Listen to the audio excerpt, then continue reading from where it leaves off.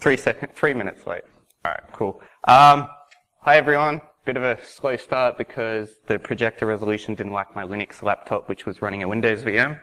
So thankfully to Dave Lewis, I'm running his Mac, and we can do all the things to it.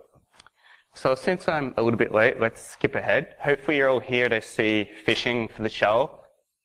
If you're not, probably next next door. But thank you for coming at uh, 11 in the morning. Uh, there was an open bar, so hopefully you're not too hungover. Typical InfoSec conference. So let's get to it. A little bit of who am I? Since you uh, what, seeing a talk by me, you want to know that I'm somewhat credible. I am a little bit, I hope. I'm a security consultant at KPMG Canada. I've spoken at BSides TO, which is Toronto, Salt Lake City, Vegas, uh, Circle City Con, Hackfest. I, I do enjoy presenting and helping people learn. I am mostly focused on offensive security and purple teaming. And to humanize me, I go to the gym. So when girls are like, what do you do for fun? I'm like, the gym and coding and stuff. Like, yeah. So what are we going to go through in this talk? Uh, I have a high amount of data information, but it's a 40 minute talk, not 50 or an hour, so going to cut through the crap. So one, what is phishing? The different phishing types for engagements, clicking, creds, and shells. The email minefield, because when you get a shell, it's different to just clicking. Uh, what I did to learn phishing, what does it involve, and what did it require? So why phishing? Why should you care about phishing? Obviously, uh, uh, who's a blue teamer here? Anyone? One person? Red team? You're not blue team. Yes. But you all know why phishing, it's successful, it's popular, it causes a lot of havoc. And I just put some stupid URL to say, hey, it's real. So the top 10 internet scams that I quickly Googled were phishing emails and phony web pages. The Nigerian 419 scam, which everyone knows, lottery scams, advance fees for guaranteed loan or credit card, that lovely email you need to pay, you forgot to pay ones. Uh, just a funny story on this, I've actually had a relative fall to that Windows scam where they call up and say, hey, you've got a virus, please go to this website. And she paid, unfortunately, which sucks. Anyone else know someone who's fallen to a scam like that? No, we're all smart, yep. So, phishing examples. Uh, you'll know the email, the Gmail one that came through as the uh, Google Docs one. This isn't that. This is just an example of an email phish. And the URL's there if you want to look it up later. Uh, John La TWC on Twitter is the Microsoft guy for threat intelligence, and he posts all these phishing examples, obviously related to Microsoft Word. So we have Excel, and it pops up with the Windows security dialog, which is pretty cool. Uh, they also pretend to be antivirus, so McAfee secure with the Windows security thing. Bit of a pain in the A. I'm not sure how many fall for them, but obviously they do and they're quite popular. There's this pretty cool one I found randomly while Googling. It's uh, it, it manipulates the URL to have the data text slash HTML before it, and it can make it look like a full Google URL that has JavaScript in it. And uh, if you want to look at that, it's pretty pretty cool. So, four minutes, awesome. I can slow down now. The phishing engagement types, like if you're at a place that wants phishing done, or you want to do some phishing, there's three main types of engagements. There's counting clicks, gathering credentials, and then gaining command and control. You know, when you pop the shell and you're like, yes, Meterpreter session one opened, that's the one. So counting clicks is what you think it is. You uh, send an email and someone clicks the link and you count the click. So if you sent, let's do some basic maths, 100 emails and 10 people clicked, that's a 10% click-through rate. That's great for 101 security awareness. Has anyone had that type of phishing engagement in their organization? Yep. Was it fun? Did you get in trouble for clicking the link? Yeah, yeah, yeah. I know one went through government in Canada recently and it was just like a fax. And a friend of mine clicked it and she was like, well, it could have been important. So there's a bit of psychological and pretexting. And then generally after you click it, it'll have a website saying, oh, you could have clicked a really bad link. Please learn security or something. So when you do counting clicks, you'll typically, like MySpace, have your page number that counts who clicks. And this is an example of stupid clicky things. But so there's those counting clicks. And how do you count clicks? You can have one of those numbers, which is just a little Apple widget that they call it on those uh, free website builders. Or you can do it in the background and have PHP code just count who it is, write to a text file and increment by one. Simple PHP code if you guys want to build your own later. Now this idea of gathering credentials is one step further than counting a link. So they'll ask, they'll fish the company, like for OWA 365 or something, or in this case, the example is from Australia, which is where I'm from, hence the funny accent. But the, the government created a government portal where you can do all your government stuff, similar to MySIC, which is a Canadian one, which you guys aren't from, so that's probably irrelevant. Anyhow, they made a phishing one where they ask for your passport front and back. So I thought that was pretty clever because they do a lot of uh, clickjacking, I think, on bank websites, and they ask for your credit card number and the uh, code on the back. So this one, which is uh, pretty cool. So gathering credentials would be also your uh, VPN connection, things like that. So you click an email, you pretext a user to type in their credentials, which is really pretty cool. But, oh no, is it broke? No, it did broke. Okay. So there's some issues with gathering credentials, such as having to reset passwords. If you get 100 employees' passwords, you're going to have to tell the client and they're going to have to do a massive reset. So it's the same thing with clients preferring a VA to a pen test. It's safer and checks the box. And then wherever your data is stored, you really need to protect it because you could expose all the passwords. So then we get to command and control. Do people know what a shell is? Yes? No? So the two main types of shells is a synchronous shell, which is like data back and forwards directly, instantly. There's two, such as a reverse and bind shell. Then there's the more advanced APT low and slow shells, which are asynchronous. So that would be similar to Beacon or the Empire agent that uh, people are probably aware of. Um, yep. So basically, command and control is where you're the hacker in a ninja suit, you bypass the firewall or the, the perimeter, and you get code execution on someone's computer. Pretty cool. So the issues with that, with any pen test or red team, for example, is that you might get hacked yourself, your attack infrastructure. Someone might hijack that control and then the client in a real hack. Uh, if you run unencrypted communications, you probably shouldn't do that because again, they can sniff the data. And then you're exfiltrating data out the network. So there's all these issues with companies not wanting to get phished for command and control. It's just some things you have to take into consideration. And then I just wanted to put more picture of command and control like the cloud, because that's a buzzword. And then IoT with your kettle and Bluetooth and whatever, or the um, baby cam monitors that the other talk was talking about.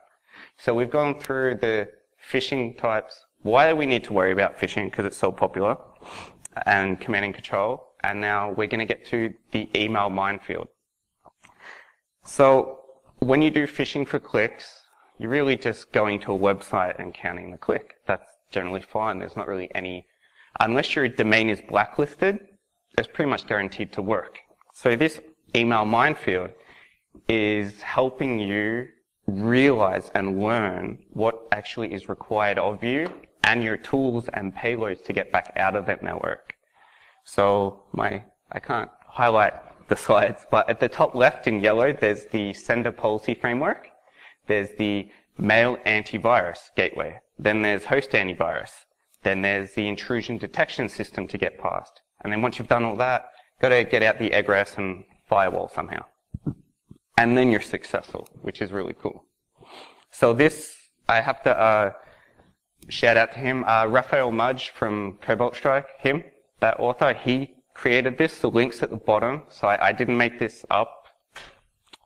Uh, so you get to the sender policy framework. What does that mean? This is just a bit where they ensure you're not spam and you're not like, oh, I'm going to pre pretend to be Google or Microsoft and, you know, it, it takes away that real easy, obvious attempt at phishing. So the SPF record is a way for a list of authorizing sending hosts for a domain to record who can actually send the email and prevent spoofers. And I just added a few uh, wiki links for you to look up. The other note is that a lot of people will use a non-deliver notice to sort of read within the metadata of the email what protection, who it's from, just more information to help you conduct a phish or an attack. So mail, you, once you bypass the sender policy framework and you're actually allowed and approved to send an email, you then hit the mail antivirus. So these can be as simple as a sandbox, or sorry, advanced as a sandbox, or just simple attachment scanning. So basically, you are able to send the email and it gets checked whether it's malicious or not.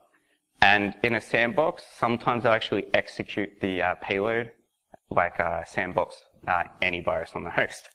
So Google would be the perfect example. They just run antivirus scanning attachments, and then what happens when viruses are found? They email doesn't get sent.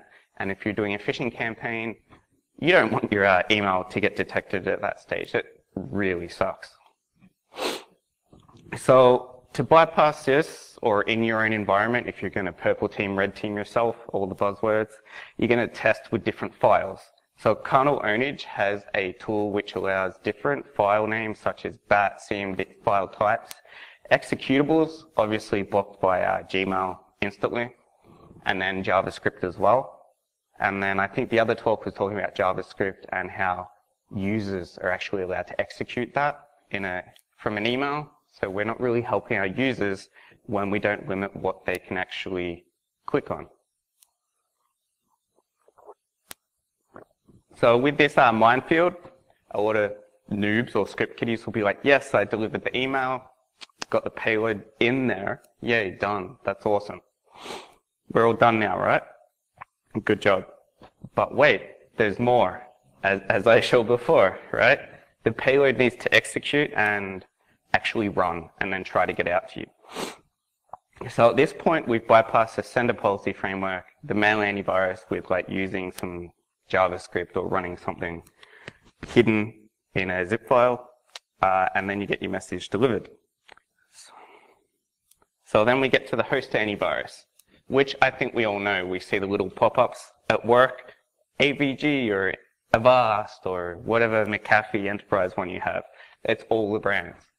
Uh, does anyone's antivirus help block anything? No, it's really easy to bypass, but they make a lot of money from it. So to run it in memory, uh, sorry, to bypass it, you can run things in memory. Uh, the new fileless PowerShell malware isn't actually fileless. It does drop something. But anyhow, you've got to use PowerShell, run in memory, perhaps a DLL, things like that. Also, if you're going to use Mimikatz or a known, known tool on GitHub, you'll want to go and remove all those type of signature-based detections, such as Mimikatz, such as PowerShell comments in the code. And there's actually a good uh, article there which goes through it and shows you some regex for stripping that out. It's really pretty cool. So then once you've bypassed host antivirus, you get coded execution. That's really awesome. You've been able to send the email, You've got it by bypass the antivirus, the mail antivirus. You've delivered the email. That's fantastic. It's running on the host. That's awesome. All done. No, there's even more. So this is where I like to think of the pen test part because you know when you do a network pen test, you get your first shell on some machine and you're like, yes, but it gets stripped off by AV. This is the real pen test part. So it's your first landing. Uh, you might encounter whitelisting or PowerShell constrained language mode. So get in the box with emails, that's great. But now this is what I like to term as the email privilege escalation.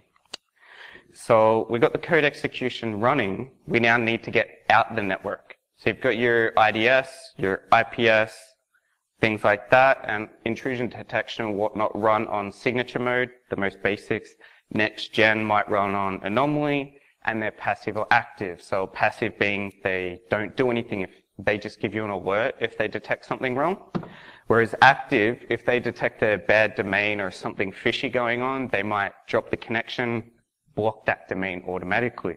So it all depends on how advanced it is and then you have to get out the firewall, the correct egress, the right port, things like that. oh, I didn't move the slide, but this is your IDS for your NIDs, your HIDs, your signature and anomaly.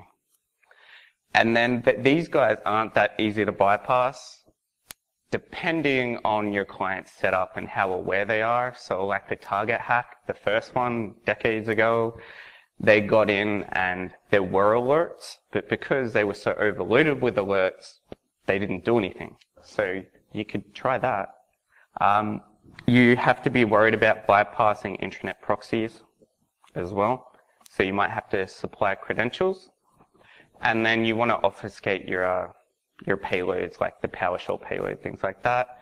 And there's also the idea of creating false negatives. So you can just create different traffic and then slide your real attack under the radar, hopefully. And then there's things like URL, encoding and HTML encoding and different types of Unicoding encoding for different payloads. So it's pretty cool. And then once you pass the IDS, you have your firewall to bypass, which I'm not sure if you guys have all seen the memes, like the one with the the door and it's like do not enter and you just walk straight, uh, straight past it things like that. Has anyone attempted to bypass a firewall before? No? Okay. It's, um, I don't think it's really much of a problem for phishing or pen testing, but it is something to be con, uh, aware of in this email minefield. So the firewalls will be your generally a bastion host. All traffic sort of goes through that one to get checked uh, might be in your DMZ.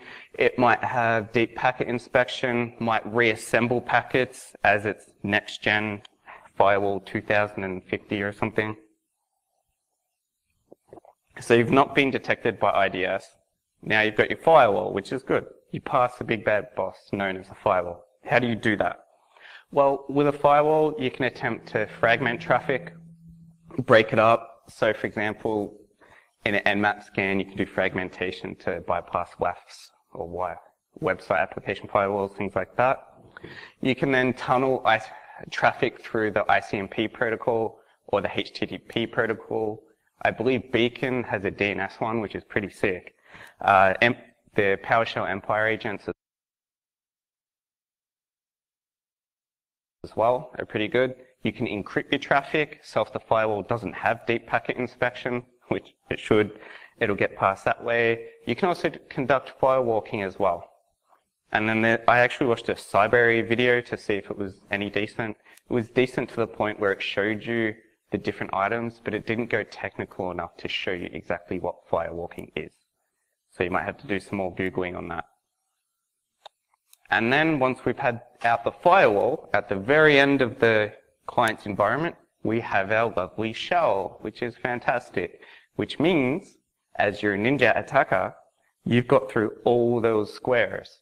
You send a policy framework, you're, a, you're allowed to send the email, your email's actually been delivered because it's been, um, they've decided it's not malicious. You've then bypassed the host antivirus, which means you can then execute code. And then you bypass the IDS and firewall, which means, oh, it's just normal traffic out, out the hole and to the cloud you go. So phishing mechanics. Uh, I wanted to learn phishing, and we need to understand what phishing is and the different types of engagement, and we then need to bypass the email fight, uh, minefield. So what does that involve with phishing? In a nutshell, what do we need to do? We have to create a domain, we have to send an email and deliver an email, because phishing is all about the emails. We need to then social engineer someone to click a link, click a download, or if you're gathering credentials, type something in, things like that. Or with your macros, click like 10 different things to allow the macros to run. So from that, we need to social engineer them to interact, download the payload, and execute it, which might be a double click or something. So then, in a nutshell, we need to send the email, deliver it, socially engineer interaction, and receive a shell. Nice and simple. But it's not because I just showed you the email minefield. So the considerations I took when uh, learning to fish was you need to build a convincing email. So all in social engineering, you have your pretexting, your story. So you need to recon the uh, organization and learn all about them, which you probably can do in your one-on-one pen testing class. But we also need to build a website that is convincing or use a framework. So that can be a framework or a manual. You need to bypass the email minefield. So there's actually a couple of steps before getting to the email minefield. You need to then understand the payloads and the different user interaction. So the idea here is, say, as a pen tester or even as a blue teamer, you need to understand the things you're going to use and play with them in like a test environment because I don't want to send an email, them to click the link, then to have to click through five different things to execute my code. And by that time, they're going to be like, yeah, this is a phish. Let's, let's get rid of this. So you need to practice.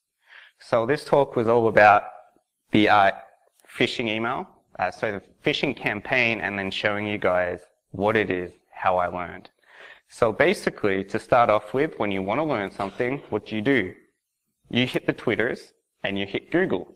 So I reached out to Twitter because we have such a amazing community on the Twitters, hashtag InfoSec. Uh, how many of you guys are on the Twitters or Twitter, have a Twitter account? Most of you. Those that aren't, I would really suggest you get a Twitter account because there's so many cool people to connect with, like myself. No, there's Snow, there's JC, there's uh, people at the back, and sorry, I forgot your Twitter account. I, I, know the pictures, but the ads you just do automatically. But there's just so many people to reach out with. All the tool creators will uh, help you with advice.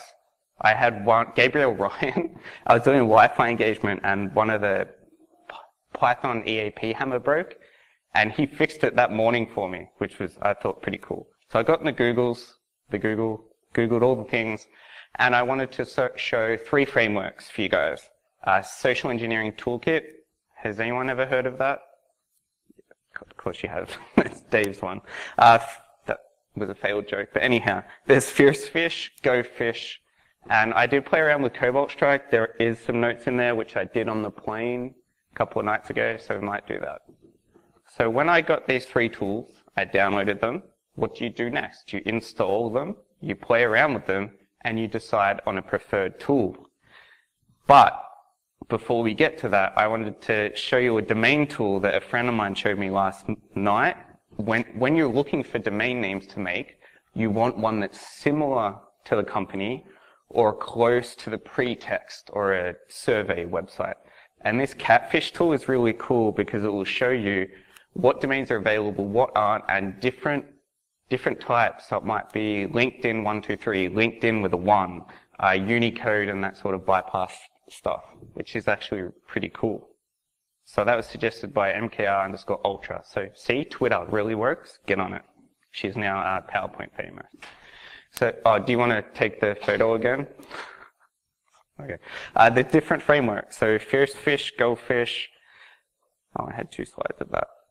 So the framework criteria after playing with it, a framework one has to send an email because it's a phishing framework. Track an email when it gets opened with an image is really helpful. You want to be able to clone a website and then save credentials. So that can either do it automatically or you can edit the, uh, the web page yourself and add the payload or whatnot. And then you want graphs and result recording. So you want to know how many emails you sent and you want really cool graphs because sea levels and whatnot, like all that stupid hocus pocus kind of stuff. Because in here it's an echo chamber, so I guess all you guys are real, really technical, but the execs really love like, oh, this, this little peak here meant this, and that color there in the pie graph meant that. I work at a big four, so I have to deal with it a lot. So installation. Installing GoFish is downloading a binary in Linux, chmodding it, and running it. Literally. I um, didn't believe it when I read it, pre-built binaries, works like that. It's so easy. And the default credentials are admin and GoFish. You can change them, but for testing, you wouldn't bother. I'm out of water, damn it. Um, so you ch mod plus x, the GoFish binary, run it and installs, and it works. It's like the easiest thing other than downloading Kali and running the social engineering toolkit. So when it's installed, it looks like this. Has a really nice dashboard, campaigns, users and groups, email templates. It's built in Go. It's really nice. Settings, setting profiles, landing pages. So Fiercefish was originally Firefish. It's by a guy that worked at Mandiant, but he changed it to Fiercefish because it was his own tool. So it was e more easily separate from FireEye or something. Fiercefish is awesome, but it doesn't run in Kali rolling by default. And I don't know about you, but I love to use Kali Linux. All the tools are there, why not? Does anyone use Kali Linux here? Even just, oh wow, awesome. I'd hope so. but it just doesn't work in Kali, and it's like, why not? It would make so much sense to do that. But it runs by default in Ubuntu 16, and it's not as easy to install. There's a bit of a configuration file, which is good and bad, because it forces you to set up your website domain and then ensure all the settings are correct, and then do configured equals true. Then it will download and install. Oh, I'm sort of playing one slide behind. Sorry guys. Yeah, configured equals true. So then you run that and it says, found that you were running on Ubuntu and if it, it won't even try to install on Kali. And that does a quick install, it runs it, blah, blah, blah, blah, blah. And then it will automatically do your external IP address. So in my case, 216172 at the time. So I went to go to that and it didn't load because I'm in a testing environment. So I'm my website domain was localhost, but it still used the external IP address. So just as a word of warning, when you do install it, do the uh, local address, and it works fine. And then you can log in and everything. So then the social engineering toolkit, who's played with it? For, for fun even, most of you guys, awesome. So obviously it's installed by, installed in Kali by default. It does, Dave does give you a you need to use this for good purposes, not bad. Don't be an evil prick. Click yes, and it works. No installing. It's pretty easy. Works really well. So it's got a lot of options in the social engineering toolkit.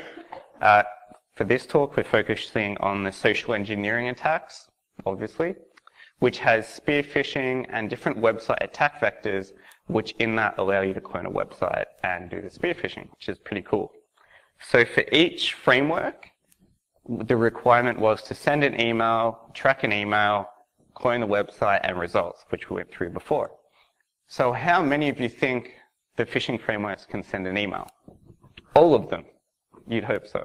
So all of them send an email. For GoFish, it looks like this, just a new template. You can import an email. So with Google, you would save it, things like that. It's pretty awesome. You can create your own email as well. So Fiercefish is as simple as well. Again, single email. You can create it yourself. Cobalt Strike, on the other hand, does not allow you to generate your own email and write the content. It forces you, because you're most likely phishing for a client engagement, to save the email and then import it. So your targets list is not handwritten one by one. It's actually a text file and it can be comma delimited, things like that. You have your mail server, bounce email, things like that. But I was doing this on the flight, so I couldn't set that up and show you, but I wanted to show you the trial version of Cobalt Strike anyhow. So for tracking and opening email, Fiercefish does not have that. GoFish and the social engineering toolkit do. I think so. Uh, Cobalt Strike, I didn't have time to confirm again because I was on the plane, it wasn't set up.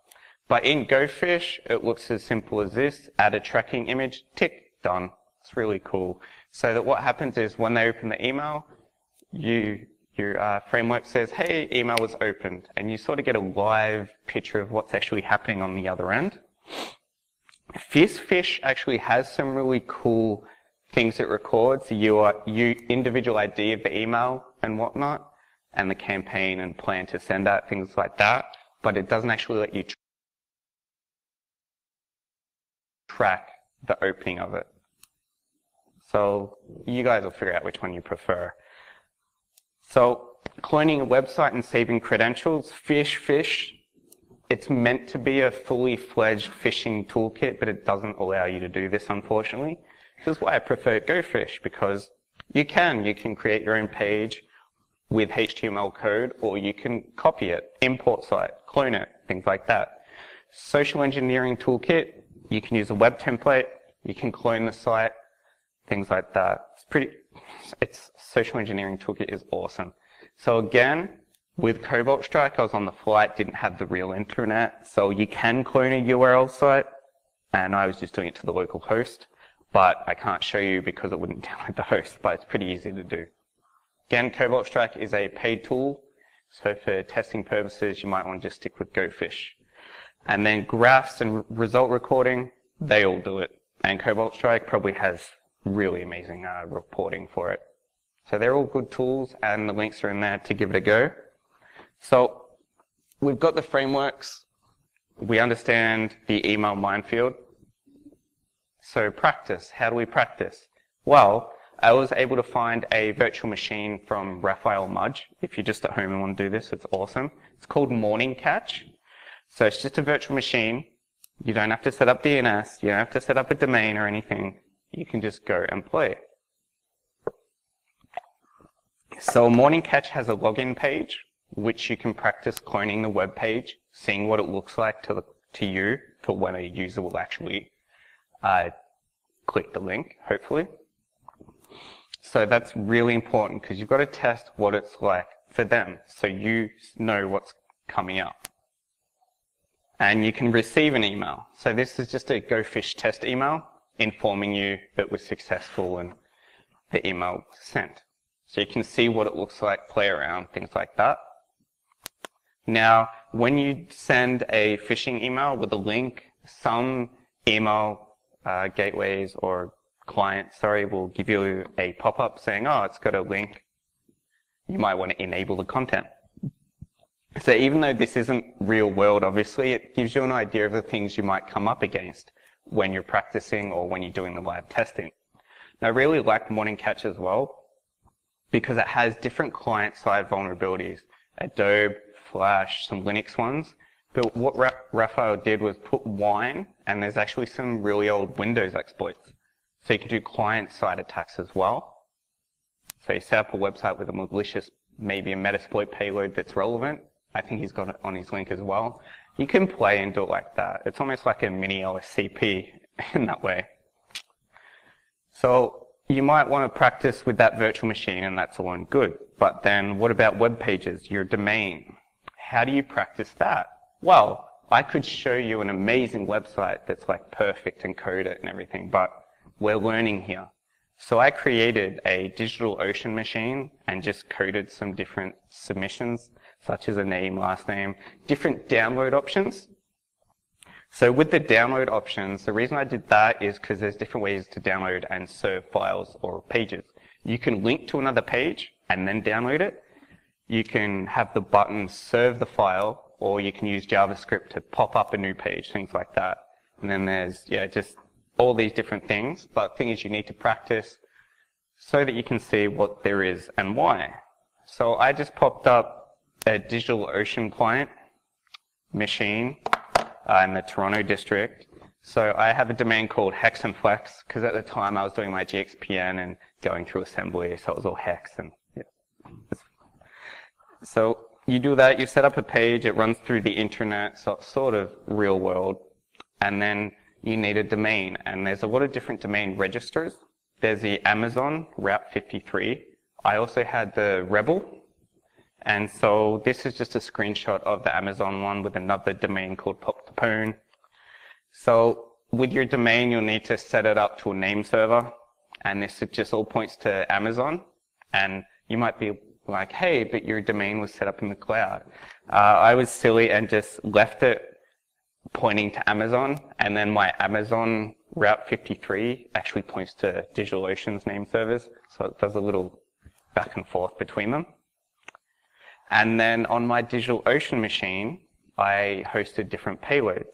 So as you can see, I've got my download.php page, which will download. I've got different Empire payloads. I've got my file.exe, which I was practicing on my work laptop and it uh, set off an alarm because it's just an executable. It's not even obfuscated. And ITS contacted me and said, what's up? I was like, oops, sorry. so clearly that doesn't work. But then you can also bypass that with the Empire shell, but I didn't say that. So with your, your website and domains, just practice, code it up because you want to know what's going on in the background, how it's served up. Now, we come to different payloads. So you've got the website, you've got the virtual machine, you want to practice different payloads, right? So I wanted to show you guys the HTA file, Microsoft Click Once, which I saw on a B-Sides video and I thought it was awesome, and DLL files. So the HTA application is a HTML application. It can run different types of code inside it. It's just basically a HTML application has like a HTML website and it can run JavaScript, for example. So it's just tags added to JavaScript. To create this, I used uh, PowerShell Empire, and then I set a listener on port 80. I just named it test80 because why not? Named the HTA file test.hta. You might want to name it something else when it's live because that's not really going to pass anyone's common sense. So we wrote it out to just a HTML directory. And then I want to show you guys, if you actually cat the HTA file, it's literally just HTML code with script launching a PowerShell code, a PowerShell payload, which is pretty cool. And then it has the PowerShell not bypass, like no execution bypass. And then at the end, at the bottom, it has the wscript.shell run. And you can probably customize that and everything, but I thought that was a pretty cool way to see that when you actually click HTA execute, what does that actually mean? So then when I was testing, I just made a download page with an update and then it downloads. So with this one, as you can see some older code, but the PHP header is really good. It's just the location of the file and it pushes it to your user to download. So with the uh, HTA file, the interaction is on a Windows 10 box with Internet Explorer to open or save it. So hopefully the uh, user will click open, but there is a second user interaction where they then say, oh, this program wants to run something again. And you're like, what, why? You have to allow it a second time. So that makes you more aware of what the user actually has to do with this certain payload. And then it actually pops up a PowerShell screen. So if you go back here, I've highlighted in red the dash W hidden, which means hide the window. But for some reason on my Windows 10 machine, I don't know if maybe it was just my cracked Windows 10, but it pops up the Windows PowerShell. It doesn't actually run code, it, it just pops up and that would alert someone, especially if you're at work and you see that pop up, what the hell. So with this payload, there's actually three different interactions. So you might want to try something else. But once you go through all that, you receive your shell, and with PowerShell uh, Empire, it, it says nice and green, you've received an agent. It's pretty cool. oh crap, getting tight on time. So I wanted to also show you the DLL. Empire also has the DLL functionality. And it's just a reflective DLL and then you add it to a file, test.dll again, you set the listener, you execute it, you write to a file. Then this one, I use the header as well. And then what the user actually sees is the, would you like to save the DLL file? You click OK. But because it's a DLL file, it doesn't just execute in a normal way. So with DLL files, they have a uh, entry point or an instruction. And generally, you'll have to use run DLL32.exe to execute it. And with the Empire one, I couldn't actually get it to work because I didn't know the entry point name. I looked at the documentation. I couldn't find it. But the importance here is that a DLL requires more interaction to actually be executed than a simple HTA file. And then I did some Googling and I wanted to test if the DLL was right or not. So there's a way within Metasploit to use a, a DLL stager and then you browse to it, and it's just a client-side attack and runs the DLL, but it wouldn't work on Windows 10. So it's probably Windows 10 issue. No, it'll be a user issue. But it's just to show you that when you're learning, these things happen and mistakes get made. And it's better to practice them beforehand so you, again, can know what's happening. So I think I only have time for uh, this last one payload. But the Microsoft Click Once is awesome. It's this Microsoft designed idea to help IT admins or staff deploy updates across the whole network and reduce the user interaction required. So it's called Click Once because your, uh, your employee has to click once and it executes and runs. So that's pretty awesome. So yeah, self, self-updating Windows-based applications that can be installed and run with minimal user interaction which is awesome. But us being the red team or pen testers, we're like, yes, perfect advantage to exploit it or use it. So it works up to Windows 7. It does require Internet Explorer. So if you're like me and you use Mozilla or Chrome or you just hate IE, it's not going to work. Windows 8 has something called a smart screen filter, so it requires more of a signed certificate, so it won't work. There are ways to bypass the URL, but I just wanted to show you the easy way. So the way the payload works is it's a C sharp application in a certain framework and you can add things to it. So in this one, it's just calc.exe, but when you build it with Visual Studio, it comes out with five different files, and then you need to actually save it within the slash COA directory from Microsoft to understand that it's, actually, that it's actually a click once application. So you have your application files, your click once test application has your setup.exe, which comes as part of the uh, C Sharp when you're building it, which is pretty cool. There's actually a link in the other slide to show this, so it's pretty easy to do. So the user interaction using JavaScript with window.open makes it like a click thrice or twice or something. So when you use JavaScript, Internet Explorer blocks it.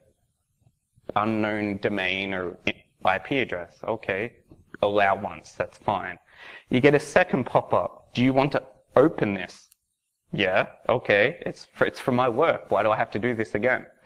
And then there's a third freaking pop-up saying, do you want to run this? So it's not a click once when you use JavaScript, which was really frustrating. There's too many things to click, users become suspicious, especially if it's a update, it's going to be easy, just click once, run type of payload, but that's not what happens. So I used PHP and click once worked much better. So I just delivered it to a download.php page. So when you go to the website, it'll be like, oh, you've signed in, please click here to download the payload. And then within PHP, I used the header so you do the location as a COA directory, then the click once test application, which is pretty cool. And then this time, your user interaction is just simply run the payload. It's like, oh, that's from work. There's no alert, so it should work. So then you get your calc.exe payload, which is pretty cool. So that was just showing the click once, the DLL, and the HTA files. So you guys can practice at home. And I was actually lucky. I was able to do that pretty quickly and get through it all. So the key takeaways were consider the user interaction and the technology to bypass the email minefield. Do the, do the hard work so that when you actually do fish for a shell, you're going to be more successful. And things aren't going to work the way you think they are. Try and test and think, think outside the square. Uh, that's about all I had. Thank you very much. Uh, any questions and comments? Yep just a quick question. In your opinion, uh, you know, you were talking about HTA files, PowerShell, um, what would be a payload that you could use, you know, you could take and use, Yeah. um, that is uh, non-toxic but useful for educational purposes to be used in? Oh, like in a security awareness program? And then it pops up something? Is that what you mean? Or just a... Um, so with the uh, security awareness, yeah, like a, when you click the link and it, it's a website that says, hey, you clicked the link, it could have been malicious, you can use a payload that probably just does a pop-up, like a JavaScript pop-up, or in C code alert, and then it says, hey, this is a malicious binary, this was a phishing email. It would just be a benign payload, basically. So instead of getting a reverse shell, it would alert the user of what's actually happened. That's all right. Or you could use uh, Empire Agent's troll exploit, which makes like everything turn upside down and stuff. It Would be fun.